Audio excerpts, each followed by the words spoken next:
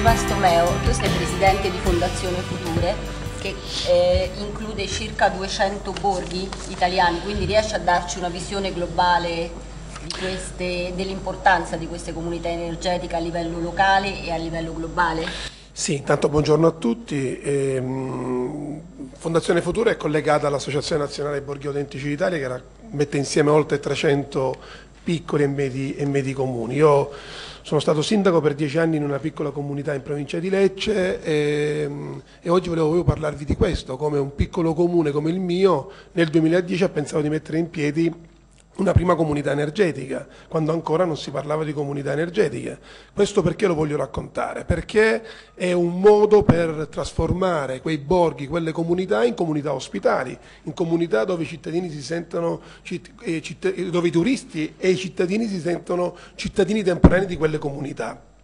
Per fare questo bisogna creare dei borghi intelligenti, bisogna creare delle, eh, delle, infrastrutture che possano dare la possibilità al cittadino di vivere bene, cioè misurare la qualità della vita attraverso il grado di benessere delle comunità. Cosa abbiamo pensato dieci anni fa di mettere insieme? Di mettere insieme dei cittadini, di non farlo con le multinazionali, di farlo con le maestranze locali, abbiamo preso 30, 29 abitazioni per l'esattezza e abbiamo costituito questa mega cooperativa di comunità nella piazza principale del paese e abbiamo realizzato 29 impianti.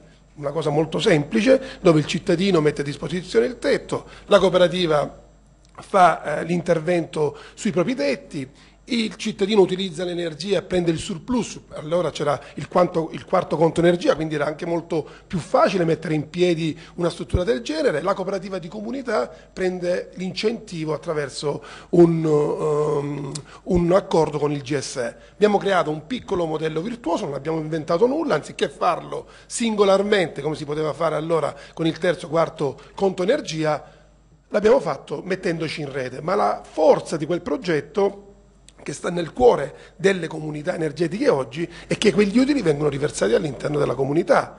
E cosa abbiamo fatto con quei soldi? Abbiamo pagato la mensa scolastica ai bambini che appartengono a famiglie con un reddito di sé basse, abbiamo pagato per esempio i libri di testo ai ragazzi che vanno a scuola. Perché sto raccontando questo?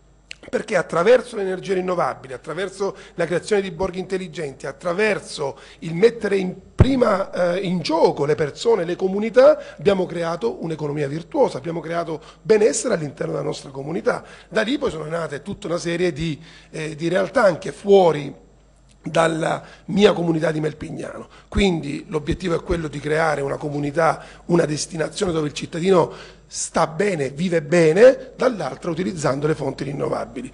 Un ultimo inciso, noi viviamo ancora, lo dico sempre nei miei interventi, nell'era del fuoco, perché per venire qui oggi abbiamo bruciato carburante per riscaldarci, continuiamo a bruciare carburante, forse è arrivato il momento di invertire la tendenza, di puntare veramente, non più finanziando le fonti fossili, perché ancora oggi si finanziano le fonti fossili, ma puntare sulle energie rinnovabili e provare a mettere insieme il pubblico e il privato, che è fondamentale, per avere una forte sinergia per poter dare quelle risposte a quelle piccole comunità. Grazie. Grazie a lei. Siamo qui con Ivan Stomeo, Fondazione Future, ed è una fondazione straordinaria perché ha nel suo DNA proprio questo, non solo la fondazione, ma Ivan Stomeo eh, come sindaco è stato il primo che ha creduto nella comunità, comunità ospitale, comunità energetica, quindi lascio a lui la parola perché è un po' il nostro faro e chi ha pensato anni, dieci anni fa, anzi quasi 12 anni fa, a questo modello che ancora non c'era né leggi, non c'era niente. Eh, eh, eh, quindi eh, Ivan, raccontaci un po' del, del, veramente del tuo modello, come l'hai pensato e come l'hai sviluppato.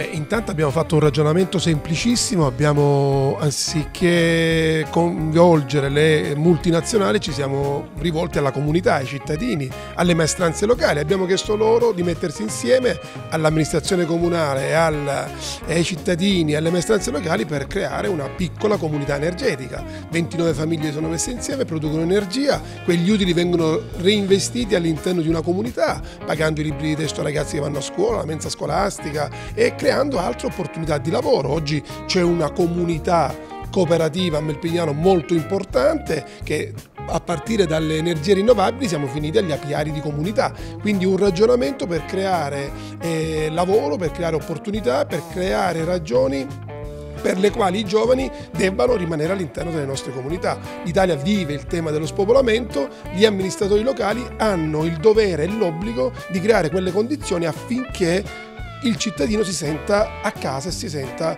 eh, libero di poter fare il proprio lavoro all'interno delle piccole comunità. L'Italia è un paese straordinario, costituito da tantissime piccole comunità che ce la vogliono fare. Noi nel nostro piccolo, come Fondazione eh, Futuro, insieme a Borghi Autentici, insieme alle cooperative di comunità che abbiamo messo in rete, stiamo cercando di dare delle risposte.